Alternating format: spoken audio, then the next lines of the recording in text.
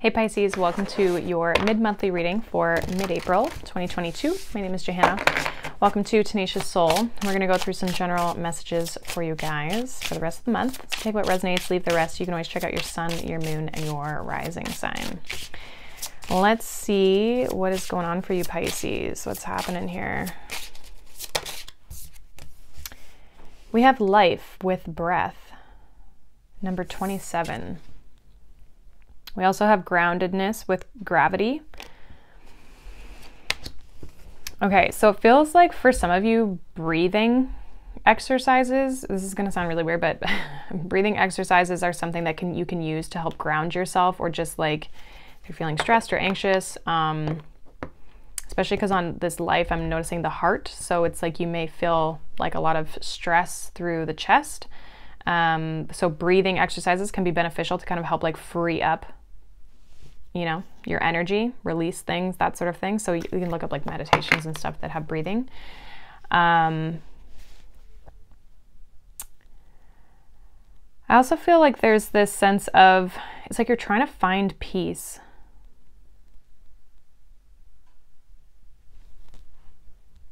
Trying to find peace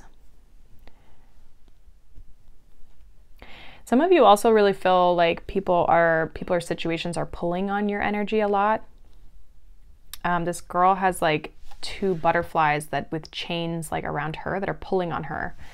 So you may be trying to like ground yourself and get back in your own energy if you feel really affected by other people or just like life around you. This card literally says life. So it just feels like you maybe need to take a deep breath from life or take a break from life or people or a situation. Um, come back into your own energy, like, I don't know, do a social media cleanse, that sort of thing. Two of Cups, Nine of Cups, Ten of Wands. Yeah, it's like people, people, people. High Priestess, Six of Swords, Seven of Pentacles, Death card. Knight of Pentacles, and the Six of Cups. Bottom of the deck, we have the Hierophant. We also have the Hermit and the King of Cups. It feels like, um, yeah, some of you need to, you like, you either need to or you will be getting into like spiritual practices with the Hierophant and the Hermit and the King of Cups, like restoring your own energy, coming back to you and yourself.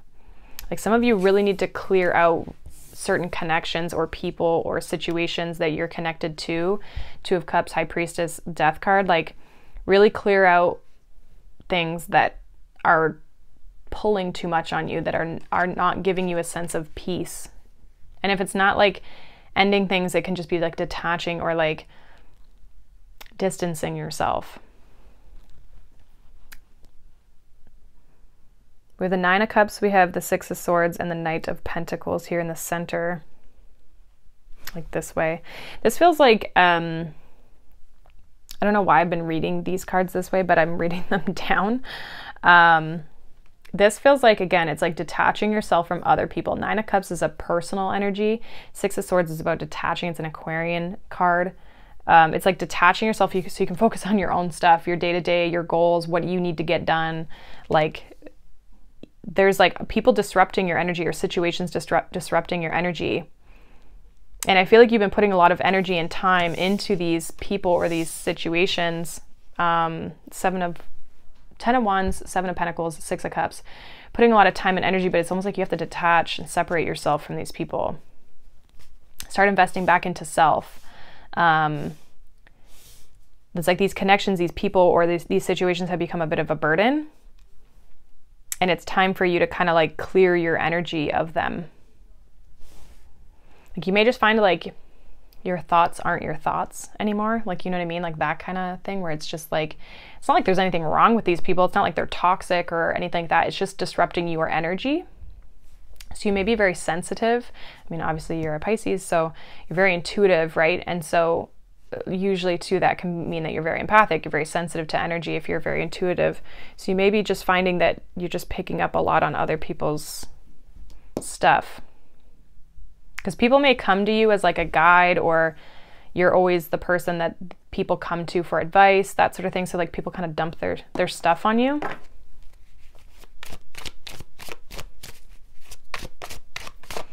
Um, let me see what this Two of Cups is here for Pisces. Why is this Two of Cups here? Eight of Pentacles. Yeah, Ten of Swords. Like, it's a lot of work. It's a lot of energy. Some of you are really also maybe putting time and energy into a connection. It just wasn't, it wasn't working.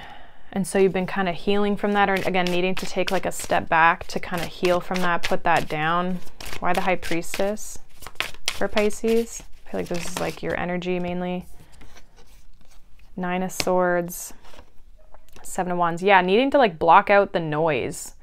Um, Emperor. There could be a person that you're trying to detach from, or a situation. Again, it's like it could be work that you're trying to detach from but it's like if you're being overworked or you're not feeling valued or there's a romantic situation, there's something that you're needing to put barriers or boundaries up here.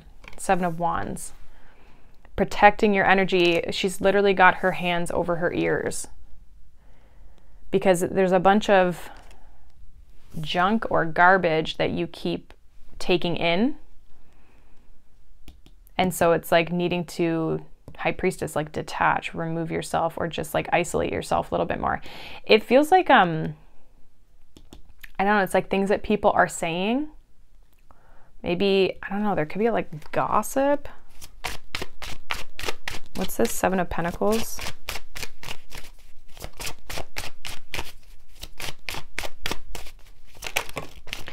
But it's, again, it's like the Nine of Swords and the High Priestess is giving me this energy like you can't even think straight. Seven of Pentacles, Page of Cups, Strength. Yeah, like putting energy back into self. Page of Cups to me is like always like a card of, not always, but like when I'm reading a, a reading like this, it's it's about reflecting inward. It's also a, a Piscean energy. So definitely reflecting back into self, looking at inner child work, that sort of thing, your inner emotions. Okay, so it's like pouring into your own cup, doing things that make you feel good. And strength is also a card of like going within. Why is this death card here?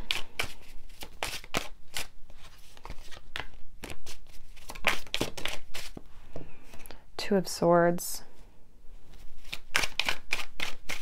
I also feel like too, for some of you, by like not engaging with people or this situation or whatever this is, it's like by not engaging, it's actually going to have someone reach out to you.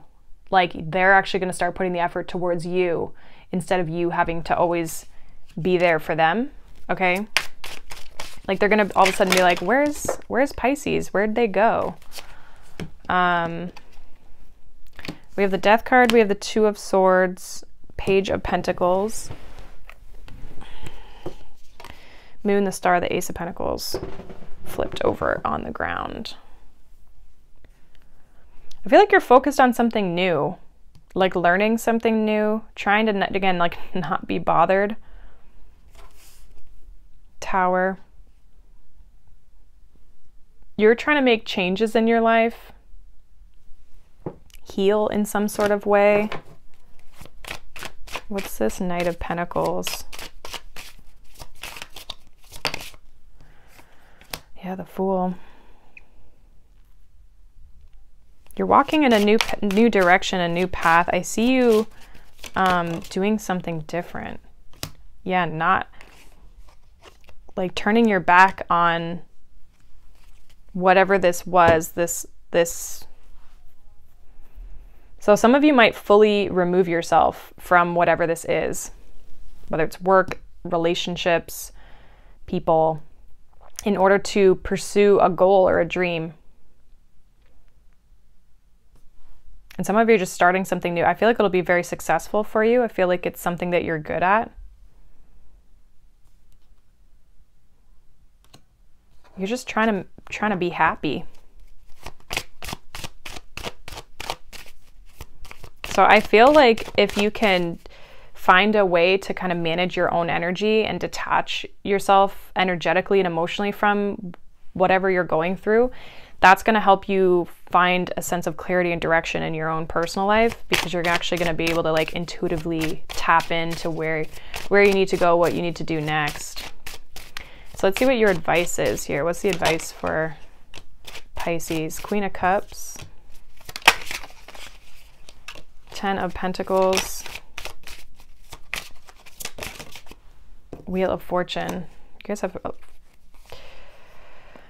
Four of Wands, the Emperor. Some of you will have a commitment, a relationship, or like a furthering of a commitment. Okay, if you're already in a relationship, I see you getting like moving in together or getting engaged or like the next level, whatever that is for you. Okay, some of you, if you're if you don't have any love and you're looking for love, like there definitely could be a person here coming in because we also have the Queen of Queen of Cups, Ten of Pentacles, Wheel of Fortune. So there are changes that are happening, to, and I feel like it's about you finding a foundation and stability within yourself. Um, but it's like almost like once you can fill up your own cup, you can actually start to feel more stable in your environment. Some of you, your money is very much going to increase with the Ten of Pentacles and the Wheel of Fortune, but I feel like it's making the necessary changes in order for you to feel emotionally stable as well as materially stable or like having feeling like you have a sense of a foundation, an anchor, a groundedness. Like you feel rooted, you feel secure. So this is like doing what needs to be done with the Wheel of Fortune, like doing what is right and what feels like it's in alignment with you to make the necessary changes. Um, I'm also getting a message of like, don't feel like you've made the wrong choices or done the wrong things because I feel like this is exactly the way the wheel is supposed to turn. So it's like you haven't slowed anything down. So, yeah, as long as you continue to look after yourself and your own emotional um, and energetic needs, then, and like block out the noise, I feel like the right changes are going to happen in your life, just like naturally because you're going to be pursuing what feels good to you and what feels in alignment with you. So I like this. This is good. I feel like it's like, yeah, just blocking out the energies that aren't, are like getting in your head and getting in your way. So that is what I have for you, Pisces. Hopefully that resonates. Let me know down below. If not, you can check out uh, any of your other signs. But I hope you guys have a wonderful uh, day, wonderful rest of April, and I will see you all in the next one. Bye.